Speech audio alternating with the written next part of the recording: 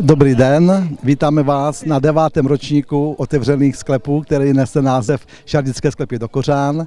Vítáme vás a pojďte ochutnat naše dobrá vína.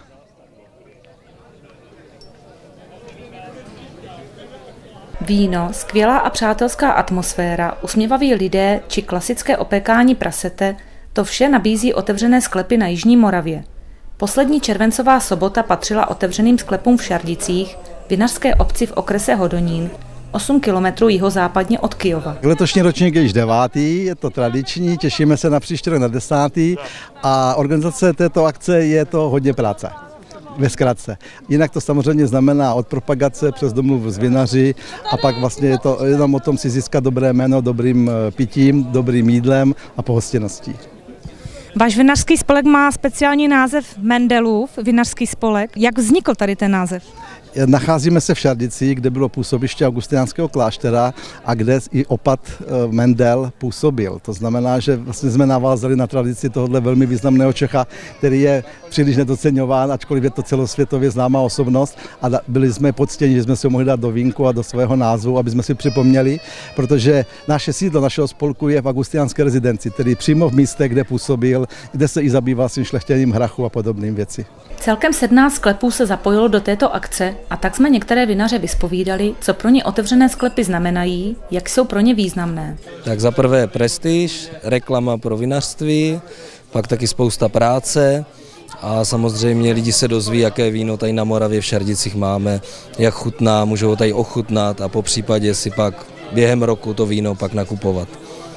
Které víno si myslíte, že se vám letos nejvíc povedlo? Která odrůda? Eh, letos tam máme pálavu, která je výborná, je to výběr z hroznu, pak tam máme Chardonnay, všechno jsou to sladší vína, z těch suších tam máme vynikající Savignon a veltinské zelené, které je letos v pozdním sběru, což znamená, eh, není to běžné, aby veltinské zelené bylo v pozdním sběru, takže myslím, že tyhle vína jsou nejlepší, co teď máme. Otevřené sklepy je prostě ideální příležitost ukázat prostě, jaké vína vyrábíme tady všem návštěvníkům.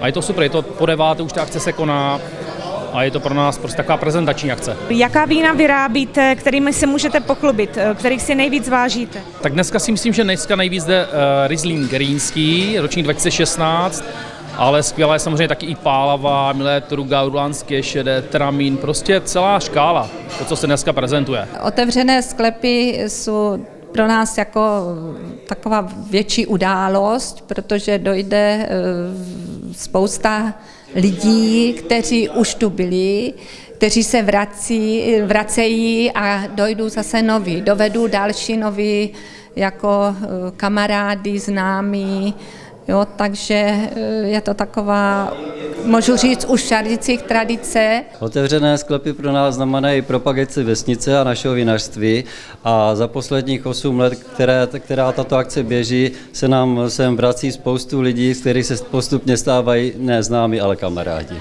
Malá rodinná vinařství, to je zejména tradice, předávání si zkušeností a vinařského umu z pokolení na pokolení. Stříhám vinohrad a nosím hrozny. Myslím si, že budu pokračovat v rodu.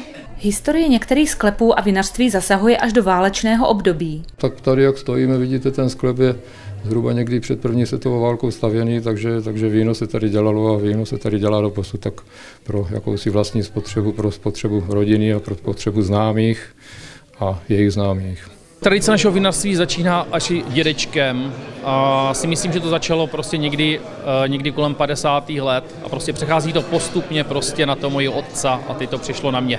Návštěva otevřených sklepů má různé důvody a jet přes celou republiku není žádný problém. Odkud jste přijeli a co vás přilákalo takovou dálku jet do Šardic na otevřené sklepy?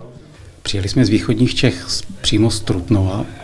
Ano, a přijeli jsme jak jinak než za dobrým vínem z Jablonce nad Nisou a tady jsme se přidružili k, ke skupince chlapců. A ty, jsou, a ty jsou z východních Čech, co jsme zjistili. Eh, jezdíváte takhle tradičně vlastně na otevřené sklepy? Já jsem tady poprvé a moc se mi tady líbí a kamarádka vlastně nás sem vzala a ta se mi jezdí už asi po šesté. Odkud jste přijel? O, z jaderné elektrárny Dukovany. Kamarád zapí svobodu a tak to byla jedna z nejlepších příležitostí a lokalit, kde to realizovat. Je to nádhera. Tady v okolí 10 sklepů pohromadě, kousíček ještě 3 a čtyři, dohromady sedmnáct, zatím jsme naštívili tady těch deset, ale víno výborné.